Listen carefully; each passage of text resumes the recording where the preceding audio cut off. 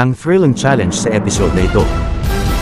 Kakakaba talaga dahil hindi mo alam what to expect. Ang unforgettable experience that I had, hindi pa kami ready to uh, take off.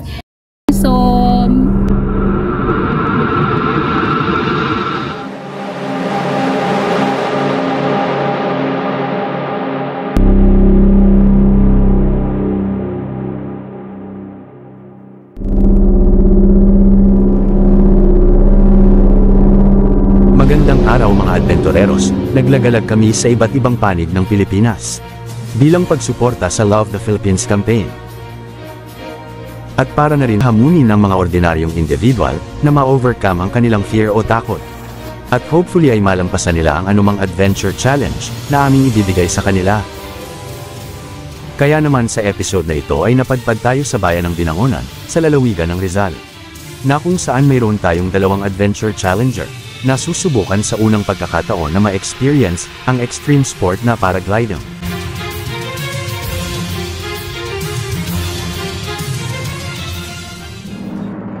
Ang challenge today ay ma-overcome ng ating challengers ang kanilang acrophobia o fear of heights nang hindi magsusuka o mahimatay sa ere.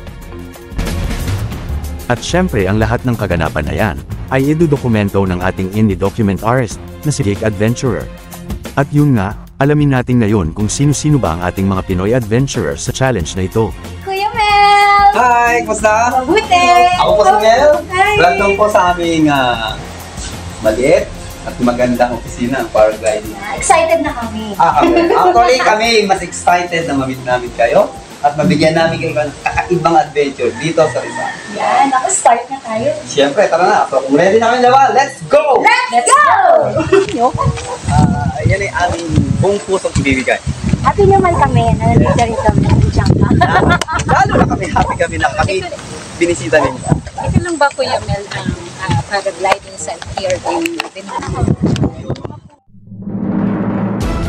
Mula sa Quezon City, si Miss May Bragado, isang businesswoman at freelance talk show host na matagal nang gustong subukan ang paragliding. Going to Rizal, I was really talkative and kept on asking questions what to really expect during the flight. So yun lang ginawa ko. But really, I was very anxious, anxious at the same time, very excited. At mula naman sa Tagaytay City. Si Miss Fiedangka, isang public teacher, na mahilig din sa mga iba't ibang outdoor activities. I was so excited papunta dito sa uh, Binangonan Recreational Center kasi this is actually my first time na i-try itong new outdoor activity, paragliding. Isa rin siyang vlogger host at ngayon ay gustong niyang i-vlog ang kanyang paragliding adventure. Ay, libreng massage sa team. okay, so uh, maybe I'm gonna take this uh, opportunity to interview Miss May. Sana naman ay walang masuka sa isa sa kanila habang nasa ere. Dahil talaga namang kadiri yan para sa mga taong nasa ibaba. At syempre bago matapos ang episode na ito, ay malalaman natin kung buhay pa at nakasurvive pa ang ating mga clueless adventurers sa ating adventure challenge. Pero syempre bago ang lahat ng yan, ay alamin muna natin kung ano ba ang paragliding. Malalaman natin yan mula sa ating expert, So, ang paragliding ay isang sport na gumagamit siya na parang parachute material. Pero ang hugis niya ay isang pakpak ng aeroplano.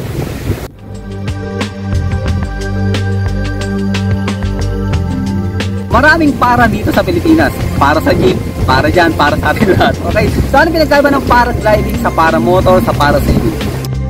Si paramotor, ito yung merong hélice sa likod, ginagamitan ng gasolina para magkaroon ka ng ah, forward.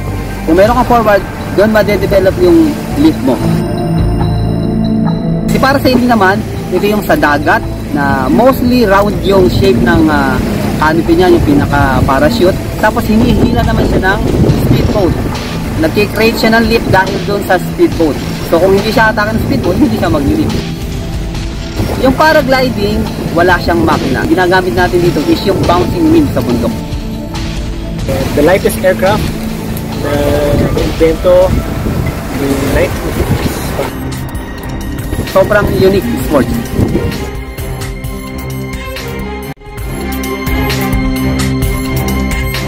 So, kung makikita nyo naman sa aking background, yung Laguna Lake.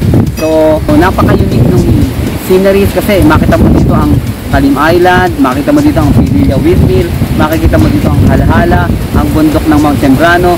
So, napaka-ganda ng lugar na parang sobrang relax talaga. Lalo na kung nasa Erica, habang pinagmamasdan mo ang kagandahan ng Rizal. Okay mga ka-adventureros, sundan na natin ang ating mga challengers sa kanilang first time extreme adventure. Basta wag lang silang malula at masuka, ay mukhang buhay naman silang makaka-survive sa challenge na ito.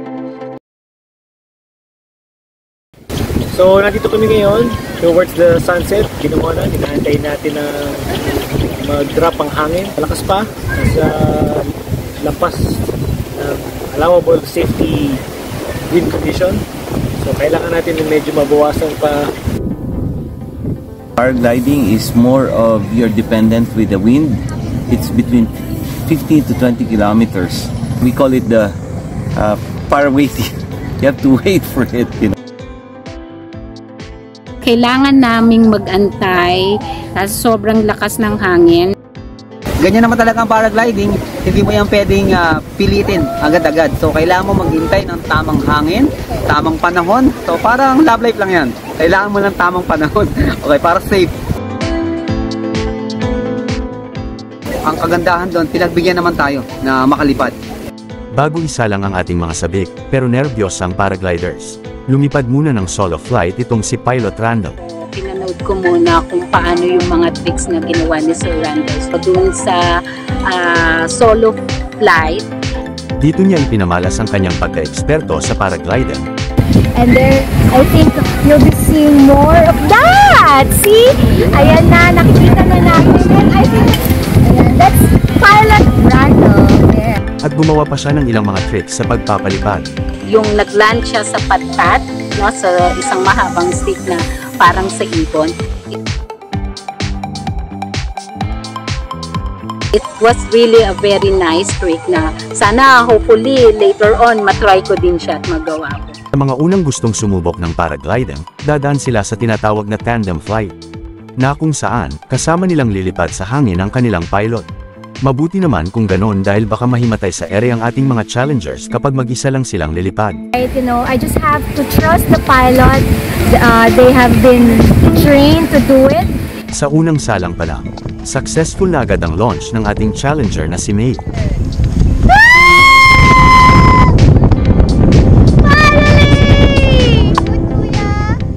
At habang nasa ere ay magkahalong kaba at excitement ang kanyang nararamdaman. Soothing experience! Pero sa kabila ng yan ay gumagana pa rin ang kanyang pagiging host mentality. Dahil parang nasa talk show na nagpo-promote sa ere ang kanyang galawan. I get to build my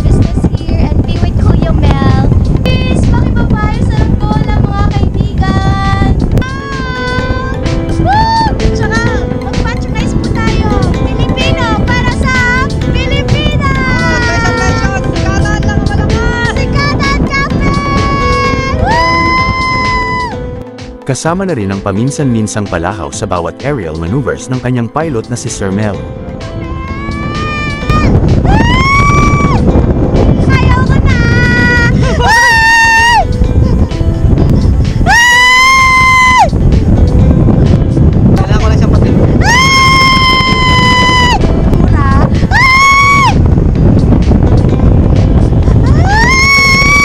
Talaga namang enjoy na enjoy itong ating first challenger sa kanyang kauna-unahang paglipad.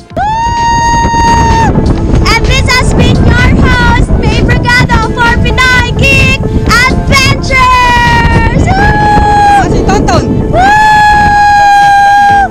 Thank you, Kuya Mel! So sa challenge na ito, pasado ang ating adventurer na si May, dahil kahit kinakabahan at mayroong fear of heights, ay itinuloy pa rin niya at na-overcome ang kanyang takot sa extreme adventure na ito. I can be back home with a beautiful smile dahil na rin sa napakaganda experience dito sa Rizal. You know, right after pandemic, I think it is really the best time to be back out there and enjoy the adventure. Susunod naman ang ating pangalawang Pinoy adventurer. Pero bago yan ay may surprise wildcard challenger tayo. At yan ay walang iba kundi ang ating resident documentarist na si Sep Paul. The Geek Adventurer, Sa mga di nakakalam, itong si Geek Adventurer ay lumibot na sa buong Pilipinas, at sinubukan ng iba't ibang outdoor challenges. At syempre tulad ng inaasahan, naka-full character costume ang ating Docu Adventurer. yung nakabaskara so parang special kasi pero nabibigyan ng ibang angle yung approach sa sport so kumbaga nagiging mas fun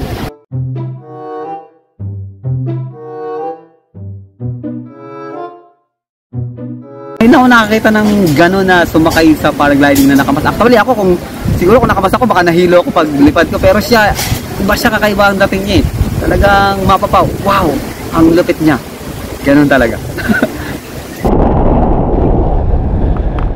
hindi siya lagi nangyayari araw-araw Balit pangalawang beses ko na itong paragliding kong ito, pero dahil matagal-tagal na rin nung una akong mahay kaya feeling ko parang first time deflowering ko ulit ngayon. Bagamat limited lang ang vision ko, pero talagang kakaiba ang amat sa itaas. Ang isang bagong experience ko ngayon ay nasubukan kong mag-operate ng paraglide wing, generous itong aking pilot na si Sir Randall dahil pinahawak niya ako ng kanya. Ng kanyang paraglide. At naranasan ko mismo kung paano kumalikot ng renda at kakaiba talaga pag ikaw ang tumatrabaho sa ibabaw. Kaya all in all heavy talaga bro. Parang gusto ko tuloy kumuha ng flying course pagkatapos nito. Yung isa pang kakaiba dito is siya talaga yung nagdo-document ah, side by side, lahat ng angulo. So, lahat ah, parang one man station siya. eh. Ginawa niya yung pati sa coverage, sa scripts, sa, ang galing niya. We have a man with a mask on, so I just don't know who he is. And of course, doing the documentary, imagine having someone to to document my first paragliding. We didn't know what really, uh, what to really expect. surprising to receive people like this So, yun, dito ko lang nalaman na siya pala si Geek Adventurer na nagta-travel sa iba't ibang lugar, nagdo-document ng kanyang mga adventure. So, ang lupit talaga nitong taong nakamas na to. So, sana makita ko yung mukha niya balang araw. This is an exciting adventure to document, as I had a great time filming this episode.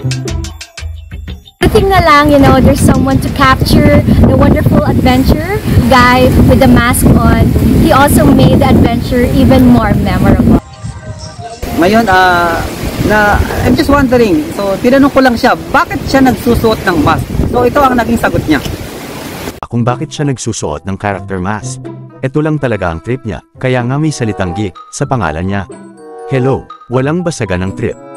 At ngayon naman, ang ating natitirang adventurer, nasusubukan rin sa unang pagkakataon ng paragliding. So nung una, ah, very nervous ako talaga kasi I don't know what will happen, especially when you're up there in the sky, no? At syempre naka-vlogger mode pa rin ang kanyang pet.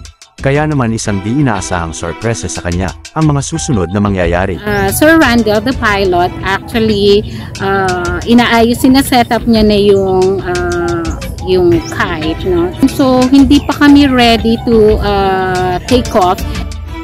Ah, sobrang lakas kasi ng hangin, so nakaladkad actually ako.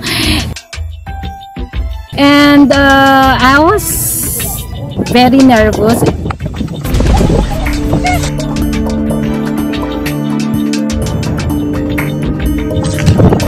Meron ka bang napali? Hindi okay, hindi okay. Normal lang yung ah, medyo may kalagkad, kalagkad. Pagkatapos makarecover sa pagkabigla, ay excited pa rin itinuloy ng ating challenger ang kanyang paglipad. It happens, it happens actually. At magaan siguro ako. Yeah. reset reset okay okay ba tayo? Teka, teka, teka. Pero, talagang unpredictable ang hangin sa mga oras ito. Kaya naman mga ilang beses silang sumubok na makalipad.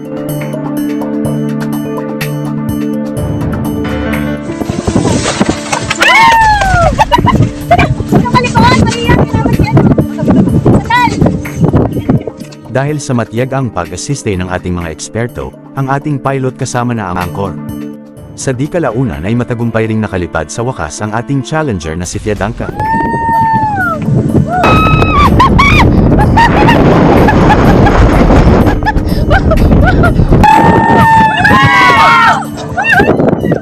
At tulad din ni May, talagang pinaghalong kaba at excitement ang na-experience nitong si Fia. Okay. Marami rin siyang mga gustong sabihin habang siya ay nagbablog sa ere. Yun nga lang, sa lakas ng hangin at sa anggulo ng camera, ay hindi natin marinig ang kanyang mga pinagtatalak. Maliban na lamang sa manakanakang paghiyaw. Bagamat may kaunting aberya sa kanyang unang paglipad kanina, makikita nating talaga namang nag-enjoy din si Fiedanka sa kanyang paragliding.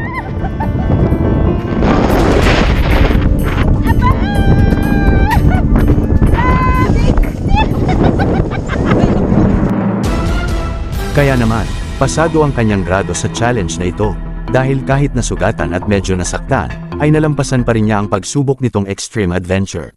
At ngayon, sulya pa naman natin ang mga behind the scene footage, ayon sa anggulo ng camera sa kanyang pagbablog.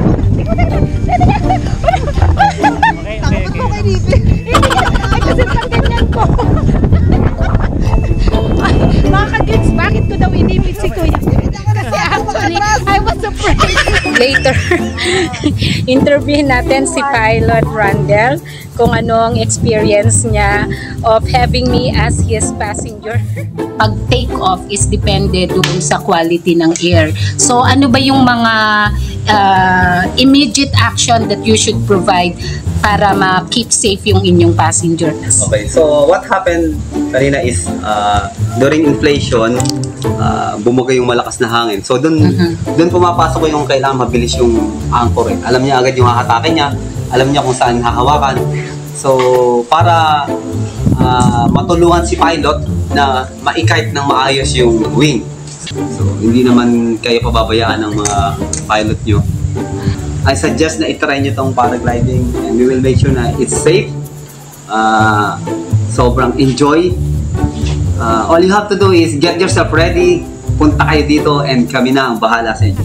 Ayan, thank you, thank you Kuya. Thank you. And hopefully matry ko ulit ito. nakita mo naman, buhay siya. Wow, At maingay pa din. Maingay pa rin. Maingay pa din. Ayan. And unforgettable experience.